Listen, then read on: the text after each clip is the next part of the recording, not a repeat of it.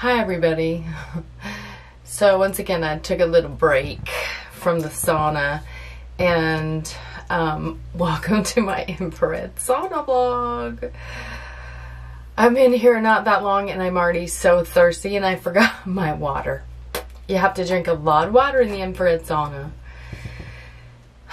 Anyway, um, so I'm back in and the reason I took some time off is because well, let me just back up. If you have never tuned in, this is where I sit in my infrared sauna at like 130 whatever degrees and I sweat and I meditate and I talk about spiritual topics so that I can keep my keep my focus and keep my um, wits about me in really intense times.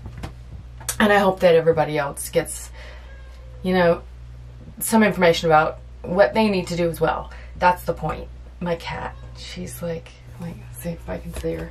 Hello, codfish. anyway, woo, I digress. Okay, so that's what I do in here. So today I wanted to talk about, well, number one, I was, I took a couple more days off and it's because um, I had to do something else to try to bring in revenue, right?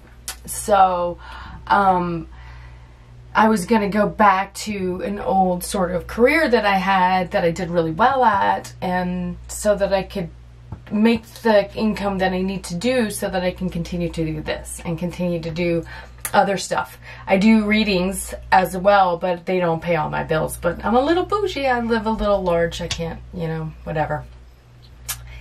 Anywho, so today's topic is about money and manifesting. And I had been through a period where I really just felt at peace financially for a minute and um, knowing that I had a certain amount of time before I needed to really start generating significant income again.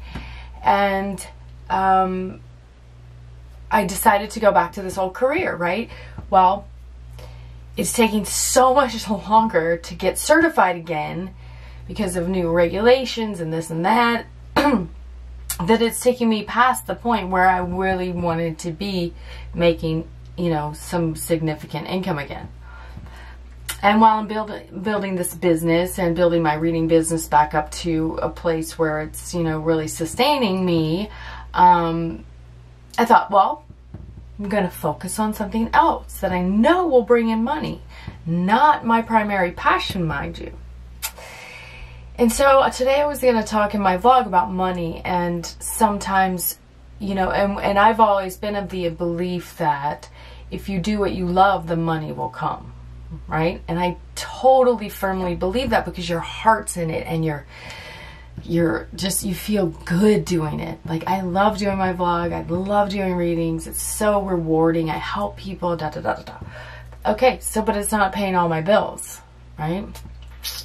And I'd rather make more money than live with less because I feel so happy in my environment, my house, my, my whole thing. So, my topic today was going to be that sometimes you have to divert your attention from your passion to bring in the revenue or whatever it is to, to, sustain until your passion builds into a place that it can come back and support you. And sometimes you just need to have that boost of energy to do that. Well, when I was thinking about that, I thought, why? Why? Why can't we just manifest with our passion, right? And I know that it takes 100% focus, and I know that it takes all your heart chakra energy being open and abundant and in gratitude while you're doing the thing that you love.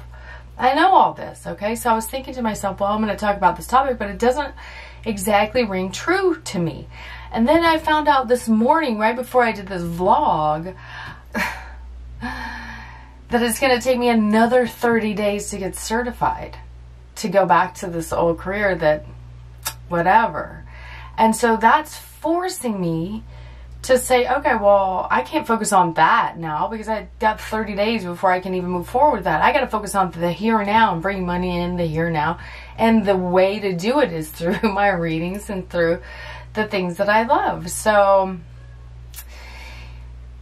I guess the message today is to let spirit be your guide because you will always, always be guided so precisely in the direction that is the best for your is the for your highest good and your highest spiritual evolution and your highest expansion of consciousness. I mean, I believe that. And so while we want to control situations sometimes and try to make things happen according to our schedule or according to what we think is supposed to happen, spirit will always keep us in alignment if we listen.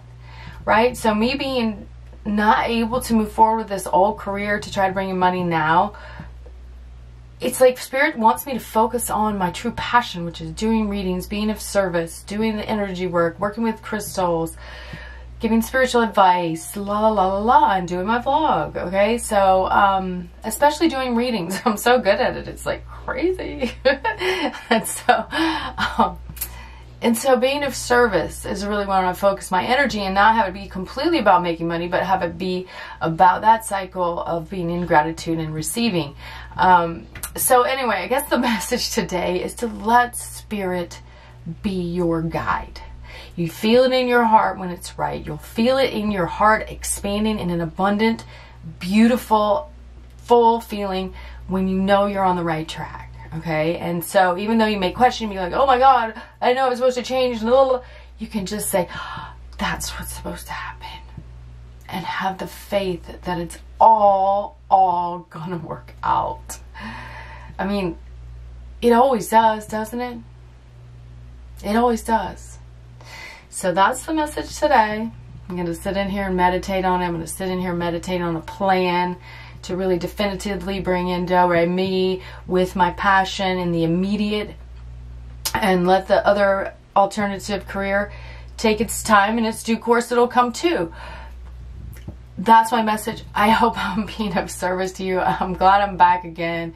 Please be patient with me. We're all kind of making our way through this intense energy. It has stabilized a little bit but you know it's been a ride Anyway, please subscribe. I really would appreciate it. And um, thanks for tuning in.